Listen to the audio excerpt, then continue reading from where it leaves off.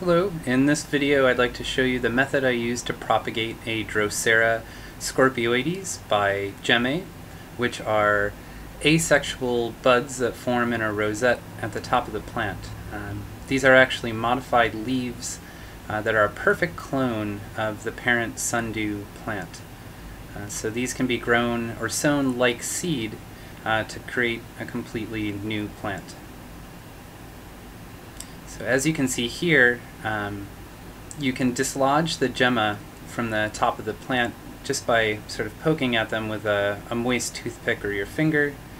Um, and the droplet of water on top is helping to sort of uh, keep track of our gemma because these are so tiny. Um, it's handy that it, it sticks around in just the surface tension of the droplet of water.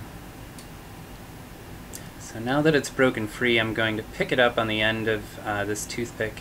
You can also use your finger, uh, which might be a little bit easier uh, to grab onto. So here's the gemma separated. Our next step is to prepare our potting media for uh, starting these guys out. Right here I have a mix of half sand, half peat moss, um, with a top layer maybe a centimeter thick of long fiber sphagnum moss. And the long fiber is going to keep these guys consistently moist. Um, I'll also keep this uh, planter in a humidity tent, just a Ziploc bag. So you don't want to bury these. Um, they will need exposure to light. Um, it is important that they stay moist though, so as you can see, just sort of firming the media up a little bit around these guys without, you know, really locking them into the soil.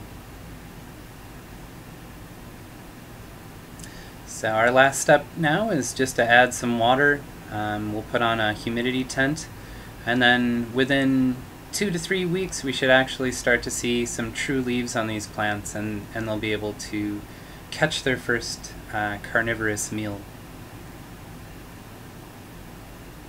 So thank you very much for watching and stay tuned for uh, Pygmy Sundew updates as well as updates on Nepenthes and other carnivorous plants.